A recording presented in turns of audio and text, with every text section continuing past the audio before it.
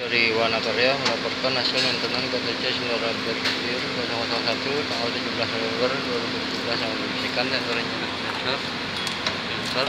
Filter area eh,